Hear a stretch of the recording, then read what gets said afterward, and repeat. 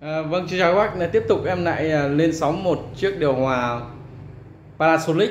Của dòng Panasonic đây là một mẫu điều hòa rất vip của Pala đó là con này là 16.000 PTU à, điện 200V các bác nhé.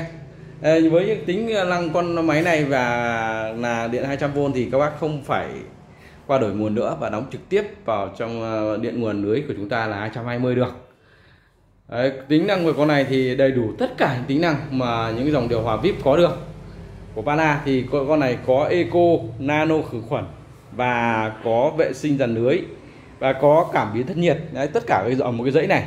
Đấy, nó sẽ có cái cảm biến thân nhiệt à, khi uh, chúng ta có người vào đông hoặc người vào ít hoặc là cảm biến thân nhiệt ở cái phòng ấy, nó sẽ chạy uh, cao lên hay thấp xuống là nó do cái cảm biến thân nhiệt đấy. Và thêm cái nữa là có nano khử khuẩn đấy. Và đây là một mẫu về họ điều hòa gọi là viền đen. Đấy thì các bác với cái con à, máy 16.000 PTU này thì các bác có thể uh, giật vào những cái phòng 25 27 mét vuông rồi về. Đấy. Vẫn chạy ok. Đấy là những cái bởi vì những cái dòng điều hòa này các bác nhìn thấy cục nóng nó rất to.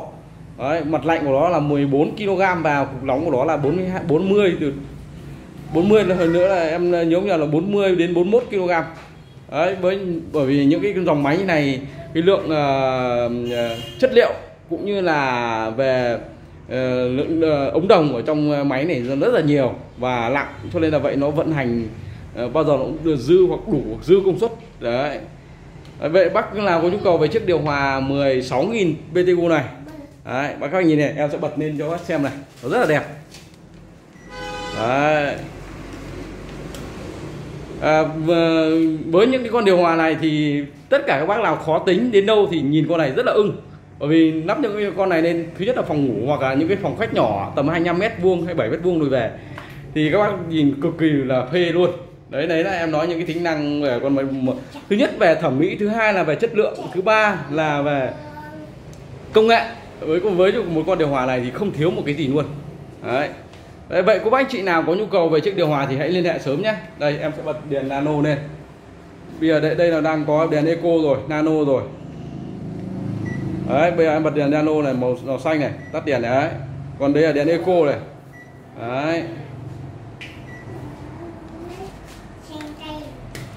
Ok vậy cô bác anh chị nào có nhu cầu về chiếc điều hòa 16.000 PTU hàng full chức năng con này có mặt dâng auto clear và có eco nano diệt khuẩn có cảm biến thân nhiệt và một mẫu là một mẫu điều hòa rất nhiều người thích. Đấy em nói là một con máy này uh, rất cao cấp vậy cô bác anh chị nào có nhu cầu hãy liên hệ sớm nha. Vâng xin chào các bác.